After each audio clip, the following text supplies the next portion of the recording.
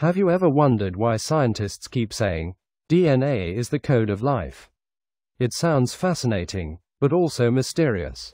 How can something so small, a thin thread like structure, decide your skin tone, your hair color, even how tall you might grow? The secret lies in two powerful processes transcription and translation.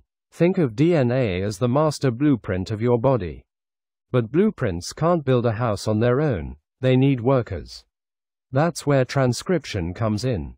In this step, DNA makes a working copy of its instructions, called messenger RNA, or mRNA. Then, ribosomes, the cell's protein factories, step in for translation. They read the mRNA code and build proteins according to the instructions. And here's the key proteins are what actually give you your traits. For example, proteins that produce melanin control your skin and hair color. Structural proteins shape your body, enzymes power your metabolism, and hormones regulate your growth. So, when we say DNA, codes for life, what we really mean is, DNA writes the instructions, transcription makes a copy, and translation brings those instructions to life, one protein at a time. When we put all of this together, DNA making RNA, and RNA making proteins, the entire flow of information is called the central dogma of molecular biology. It's the guiding principle that explains how your genetic code becomes you. So let's dive into the first step transcription. Transcription is like photocopying a page from the master blueprint. But there is an issue. DNA stays safely inside the nucleus, and the cell still needs its instructions outside, in the cytoplasm. To solve this, the cell makes a copy of the gene it needs, not the whole DNA, just the relevant section.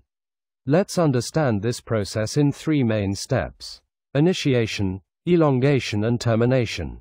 Our first step is initiation. Initiation, the first step of transcription. This is where the process actually begins. But what do we need for it to happen? Three main things DNA, the blueprint, from which the gene has to be copied. RNA polymerase, the enzyme that does the copying, and nucleotides, the building blocks for the new RNA strand. Now, remember, DNA is a double helix, made of two strands. But only one strand is transcribed. This is called the template strand, or the antisense strand. The opposite one is the coding strand, or the sense strand. Here's a question for you. If the coding strand already looks like the RNA we want, then why does RNA polymerase copy the opposite strand instead? Think about it. I'll reveal the reason in a moment. First, let's see how RNA polymerase gets started. Transcription always occurs in the 5 to 3 direction. It begins at a specific site on the DNA called the promoter, a short sequence, usually about 50 base pairs, located near the transcription start site. The promoter is essential because it tells RNA polymerase exactly where to begin. A classic feature of many promoters is the Tata box, found about 25 to 35 bases upstream from the start site. In eukaryotic cells, initiation begins when general transcription factors and RNA polymerase II bind to the promoter, forming what's called a pre initiation complex.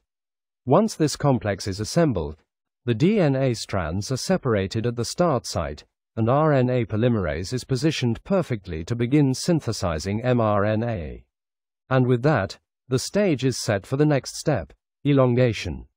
Elongation, the second step of transcription. This is where the real action begins, the actual synthesis of mRNA.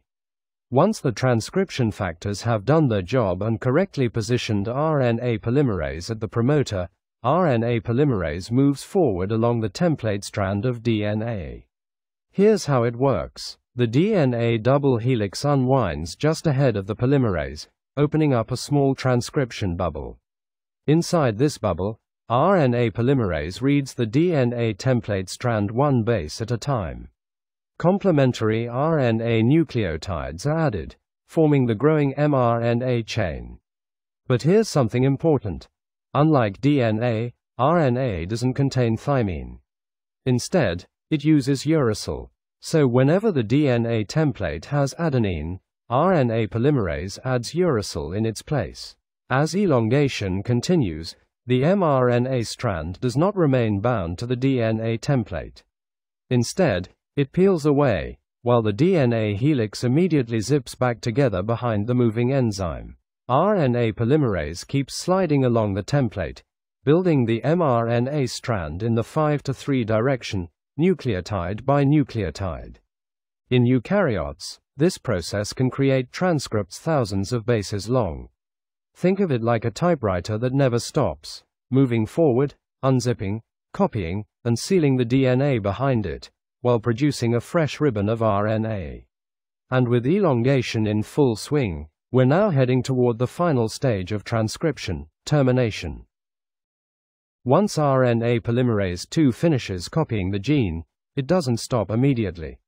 Instead, it keeps moving forward, transcribing extra bases beyond the coding region, almost like a typewriter that keeps pressing keys even after the sentence has ended.